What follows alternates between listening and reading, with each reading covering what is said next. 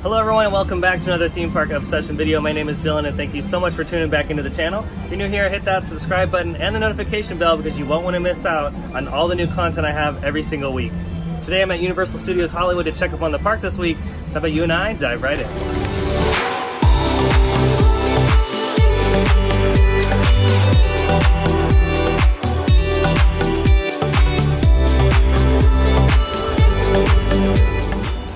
Over here at It's Sugar, no real visible progress from the last video, so it still looks like coming up with a solution to fix this outer facade. So we'll see what happens in the next couple weeks. Let's go ahead and move on.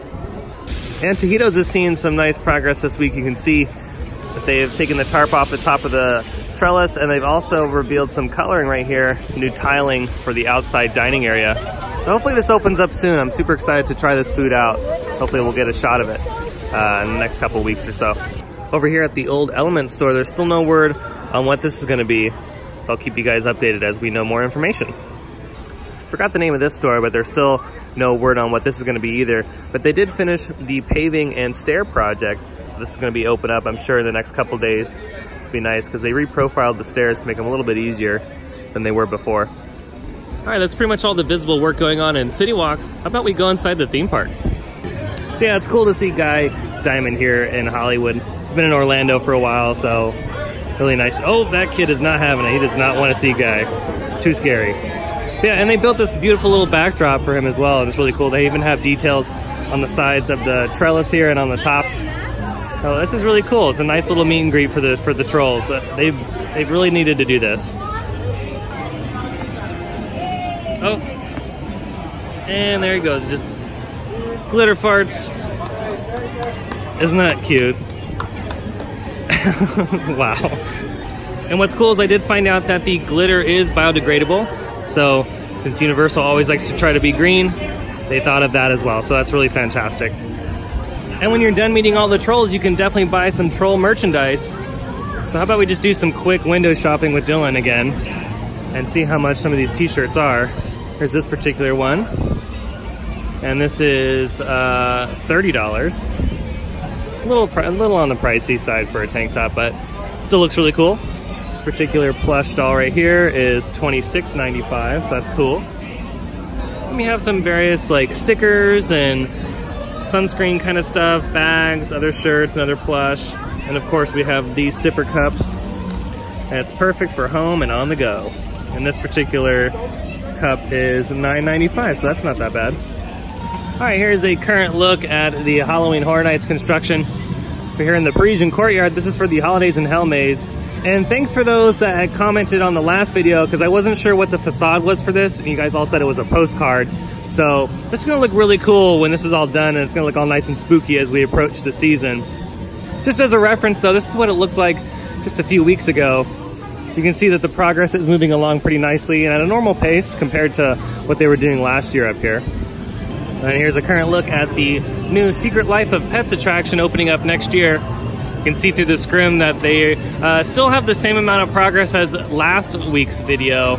You can see just they're working on the facade work for this new Baker Street. I don't know if it's gonna be still be Baker Street or if it's gonna be something else. Oh, hello, Marilyn. Um, or if this is gonna be completely like redesigned to be the New York Street like in the movies. I don't know, we'll see. And then here's just a wider shot. You can see the new building all covered up. It's a really big show building for that attraction, so I'm excited to see the finished product. As you can see, it's another gorgeous day here at Universal Studios Hollywood. The June gloom is starting to dissipate a little bit earlier on in the day now, so that's fantastic. Look, you can see the tents. There's one of the spooky mazes. Studio tour only has a 20 minute wait, so that is fantastic. Let's go ahead and give it a ride. Thrilled when Universal invited me back to Skull Island. And it's great to have you along for the ride. Everybody get your 3D glasses ready. Make sure you got a good hold on all of your belongings. Remember the tour told you that out here on the back lot, the world's around the corner at every turn. That is very true right now. We just left the Old West. All right, so we just got off the studio tour, and uh, the tram didn't go in the Metro set area as much as I wanted it to check out the Halloween Horror Nights construction there. But uh, we did do the normal path, and we did get a chance to see some other attractions being built, so that's really exciting.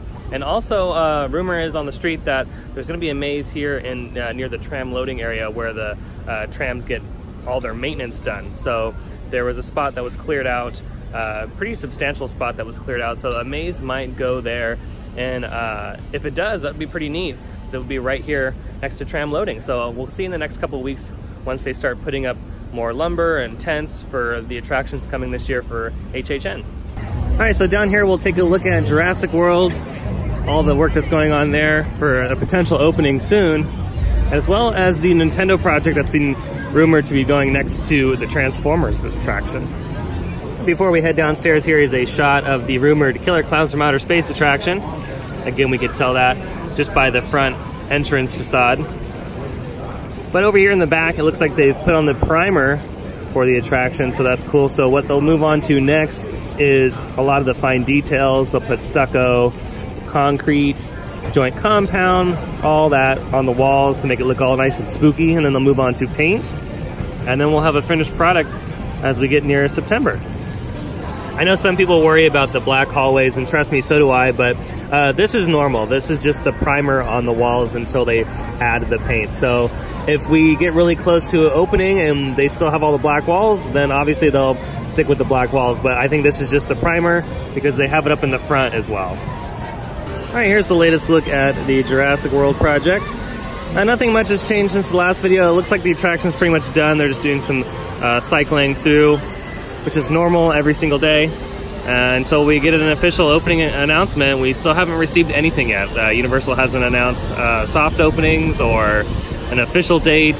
So everything's up in the air until they say something. Again, I would keep an eye on their social media, uh, their Twitter, their Instagram, and their Facebook because that's pretty much the only way we're going to find out when this ride officially opens. You can see they're still testing with water dummies, so Either they have a couple more days or a couple more weeks of testing left to go.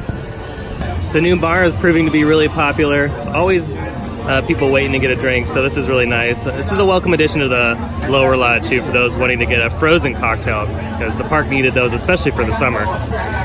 Since I didn't get a chance to look at the interior of this in the last video, I might as well go in here and show you all what this looks like. And it looks very clean and modernized. The new color scheme is all over the place. They have these cool little murals on the sides. Those look nice. And it looks like it's gonna be cafeteria style, like most uh, theme parks, just grab and go. Here's the pomegranate guacamole. That looks really good. Very delicious. Ooh, they got some wraps right here. They have a fruit salad. They have some new cakes. Those look really good. Good area. Some rice, chicken, all looks really good. There's your pricing right there. So $13.99 for the chicken salad, $15.99 for the roasted red snapper, $13.99 for the burger, and then we got $14.99 for the pork, and uh, $15.99 for the chicken. The staircase that used to be over here has now been taken out, so the whole entire walkway to the restrooms is now nice and open. That's really cool.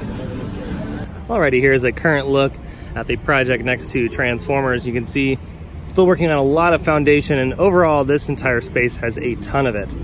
Just kind of zooming in here. Here's the biggest section of foundation and it goes deep. Uh, I know uh, a couple weeks ago uh, some construction workers were pretty deep down inside that so looks like a lot of infrastructure continues here in the lower lot for this new addition which the lower lot desperately needs. And then just for reference, this is what it looked like just a couple weeks ago. So you can tell that they have made some significant progress just on a lot of the concrete work, which is the hardest part. You know, this just looks like a complete knot and labyrinth of concrete and rebar and electrical going in for this huge show building that's gonna be here. So super excited to uh, get some more details on this particular project as the months and years continue and closer to hopefully an opening in maybe 2021 or 2022. That's what uh, everyone's leaning towards.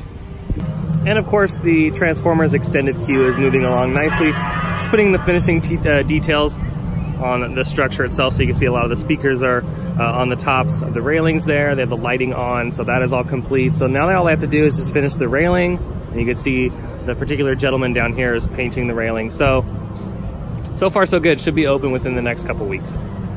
I've got a couple questions on if they still uh, sell the Jurassic Park merchandise and not just the Jurassic World. And the answer is yes, they still do. So they still have the old school t-shirts, they have little sweaters and hats, they have mugs, and uh, yeah, so they still have all the original Jurassic Park stuff. So you don't just have to get the new Jurassic World merchandise. Well, that's gonna do it for today's video. I hope you enjoyed this week's look at Universal Studios Hollywood. If you did, go ahead and hit that like button. And if you're new here, hit that subscribe button and the notification bell because you won't want to miss out on all the new updates I have every single week. Other than that, I hope you have a beautiful day, and I'll see you next time in the parks. Bye.